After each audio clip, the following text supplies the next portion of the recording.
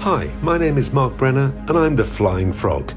The Flying Frog because I'm half British, but also half French. And I live in the southwest of France, flying a Jodel D150 Mascaret from Arcachon. I also fly Cessnas and Robins and seaplanes, and I have some friends with some rather cool aircraft. They very kindly, occasionally, let me fly them. I enjoy sharing my passion with friends, family, and strangers, taking people flying over this amazing part of the world, which has some stunning scenery. So, welcome to the channel. This is the Flying Frog.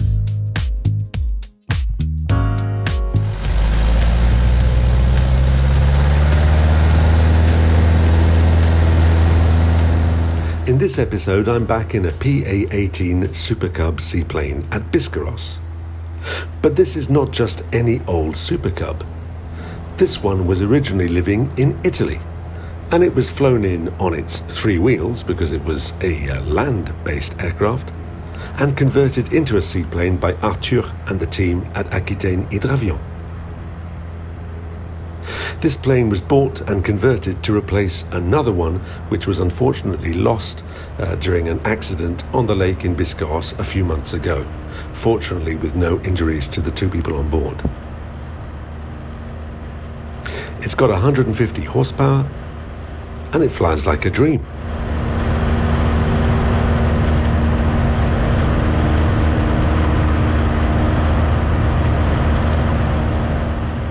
As the weather has been gradually getting warmer and warmer in the Arcachon and Biscarrosse area, my friend and flight instructor Stéphane suggested that we go flying together to perform my first ever beaching.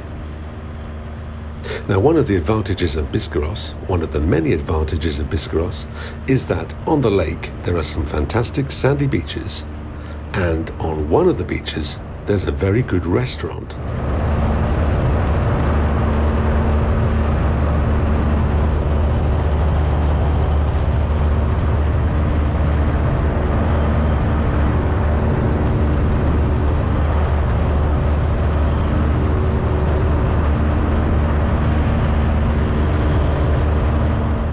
So the plan was to practice my water landings and takeoffs, get back into the swing of things, and then to beach in front of the restaurant for what we could call a $200 burger.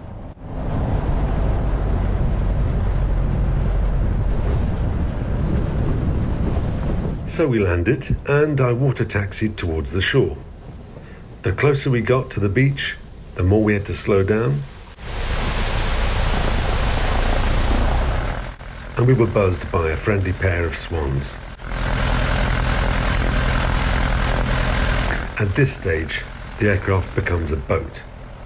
A rather basic and difficult to steer one, but a boat all the same, so headsets come off.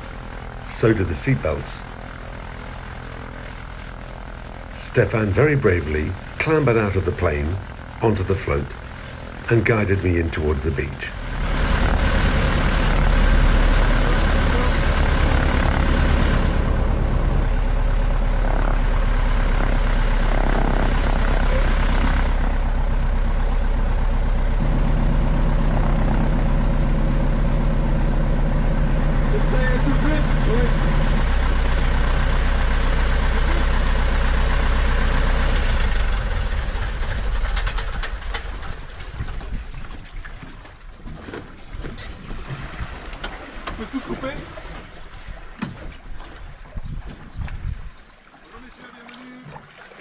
Merci. Oh, ça va aller. Ça, merci. Tout est coupé Ouais, tout est coupé. Batterie, magnéto Magnéto coupé, batterie coupée. Ok. Once we beached the aircraft, there followed a rather comical scene, which I've deliberately sped up a little bit to make things go by quicker. We were moving the plane around, trying to get it in the best angle, trying to line it up with the posts we were going to tie it to, and then we had to try and remember the knots we'd learned during our seaplane training to make sure the damn thing didn't just float away.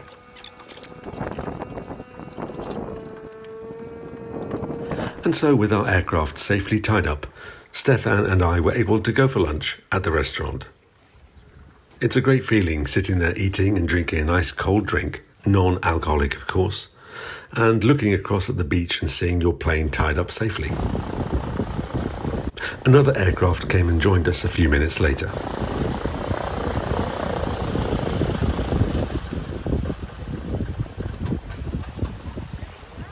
Once we'd had our coffee and settled the bill, it was time to head back to the plane, to get it back afloat, and to head back towards Biscarrosse.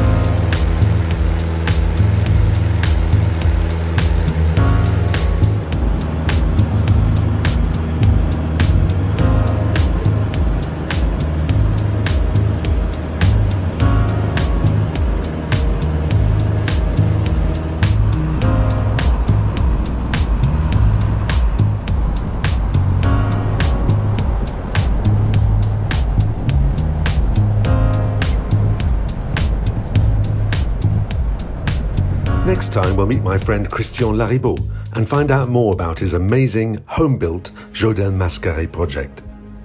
Euh, sur ce type d'avion, il n'y a pas de kit. Et je l'ai construit parce qu'il n'existe pas, ou peu. Il y en a eu très peu de construits par rapport au 112. Ceux que je connais, ils sont en Angleterre, parce que les Anglais sont fanats des avions anciens et des Jodel. Ouais. Et euh, j'ai le numéro 214, alors que des Jodel, il y en a eu 3000, 4000 construits par les amateurs, construits par Jodel, construits en sous-traitant, puisque c'était l'avion d'aéroclub typique qui était donné par l'État euh, aux aéroclubs, euh, à l'é- à la belle époque où euh, l'aviation était un peu favorisée. I'll also be talking about Flying Frog merchandise. See you next time.